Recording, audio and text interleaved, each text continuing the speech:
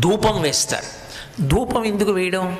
అంటే ధూపం అంటే ఇలా కాళ్ళ దగ్గర నుంచి తల వరకు తిప్పమని కాదు. ఎందుకు అసలు తిప్పడం? ఎందుకు? ధూపం ఏం చేస్తారు? ముక్కుతో పీలుస్తారు. అది సుగంధం. మంచి వాసన చూపిస్తున్నారు మీరు. మంచి వాసన చూపించడానికి కాళ్ళ దగ్గర చెవుల దగ్గరే తిప్పడం ఎందుకు? ముక్కు దగ్గర చూపించాలి. ముక్కు దగ్గరికి మీరు వేసిన సుగంధం వెళ్ళేటట్టుగా చూడాలి.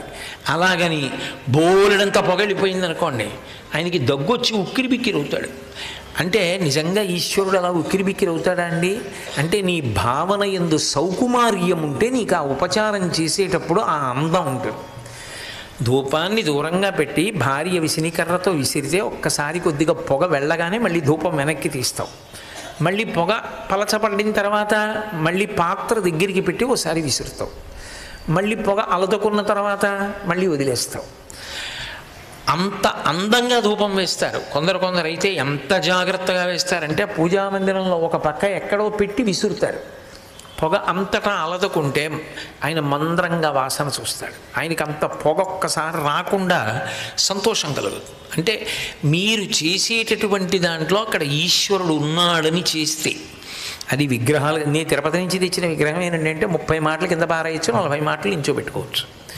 కాదండి అది ఈశ్వరుడు అంటే ఆ భావన ఉంటే ఒళ్ళు దగ్గర పెట్టుకుని అలాంటి వాడు పూజ చేస్తాడు. లేకపోతే దాని మీద భక్తి ఏముంటుంది? ఏం ఉండదు ధూపం ఎందుకు వేస్తున్నావు? అంటే ఈశ్వరుడు ముక్కుని ఇచ్చాడు ఈ ముక్కు వాసనలు చూస్తూ ఉంటాడు చూసినప్పుడు ఎంతో సంతోషాన్ని పొందుతుంది. ఇప్పుడు నేను ఈ ప్రవచనం చేస్తున్నప్పుడు నిజానికి ఒక కారణానికి లోపల చాలా సంతోషంగా ఉన్నాను. ఎందుకున్నాను? అంటే నా మెడలో సంపంగి పూల మాల వేశారు. ఈ సంపంగికి కింద దవనం కట్టారు. దవనం కింద లిల్లీ పూలు కట్టారు.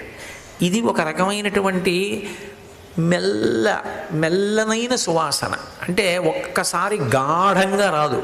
మెల్లిగా వస్తుంది. దవనం ఒక రకమైన పరిమళం వస్తుంది. ఇది ఒక అద్భుతమైన సువాసన. సంపంగి గొప్ప సువాసన.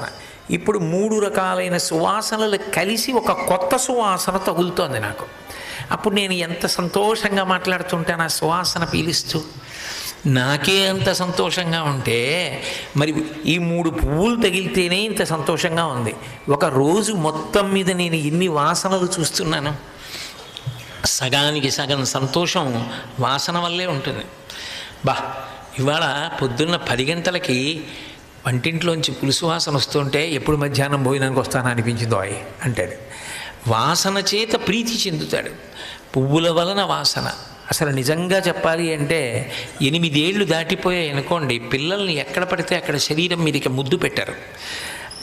మూర్ధన్యస్థానమునందు తల మీద వాసన చూస్తారు. వాసన చూస్తే ఆశీర్వచనం అంతే. వాసన చూడాలి తప్ప ముద్దులు పెట్టుకోరు. అందుకే సపుత్రమూర్ధినుపాఘ్రాయ రాజా దశరథ ప్రియం దదౌ కుశికపుత్రాయ సంప్రీతేన అంతరాత్మన అంటారు. రామాయణంలో. దశరథ మహారాజు గారు విశ్వామిత్రుడికి ఇచ్చి రాముణ్ణి పంపించేటప్పుడు కొడుకు యొక్క తలని దగ్గరికి తీసుకుని వాసన చూసి పంపించాడు అన్నారు. ధర్మశాస్త్రం రామాయణం కాబట్టి. వాసన చేత ఆశీర్వచనం అవుతుంది పసిపిల్లలు ఉంటారు. పసిపిల్లలకి స్నానం చేయించేసిన తర్వాత అమ్మ సాంబ్రాణి వేసి ఆ కుంపటి సాంబ్రాణి మీద పిల్లల్ని ఇలా జాగ్రత్తగా ఉబ్బిడిగా పట్టుకుంటారు. పట్టుకుంటే వాడికి కింద నుంచి సాంబ్రాణి వస్తే వాడు ఆ సాంబ్రానికి ఏడుస్తారు. మళ్ళీ వాళ్ళని తిరగేసి పట్టుకొని ఎంతో జాగ్రత్తగా పట్టుకొని ఆ సాంబ్రాణంతా బొజ్జకి కంఠానికి తలకి కొద్దిగా వెంట్రుకలు ఉంటాయి. ఆ వెంట్రుకలకి బాగా సాంబ్రాణి వేస్తారు. దానికే వాడు ఎంతో బడలిపోతాడు. బడలిపోయి ఆ బట్ట ఉయ్యాల్లో పడుకోబెడితే వంగి బొజ్జ మీద ముద్దు పెట్టుకుని వాసన చూశారనుకోండి ఆ సాంబ్రాణి వాసనతో అసలే మనవరాలు. మొదటి బిడ్డ బిడ్డ. ఎంత ప్రేమగా ఉంటుంది తండ్రికి తల్లికి. దాని మీద స్నానం చేసి సాంబ్రాణి వేసుకు పడుకుంది. ఎంత సంతోషంగా ఉంటుంది ఆ వాసన. నేనేదో ఒకటి చెప్పా. ఇలాంటివి ఎన్ని అనుభవిస్తున్నారు ముక్కుతో? మరి ఈశ్వర నువ్వు ముక్కునిచ్చావు. ఇన్ని వాసనలు చూడడానికి అవకాశం ఇచ్చావు. నేను నీకు కృతజ్ఞత చెప్పాలా? ఈ ముక్కిచ్చి వాసన చూడడానికి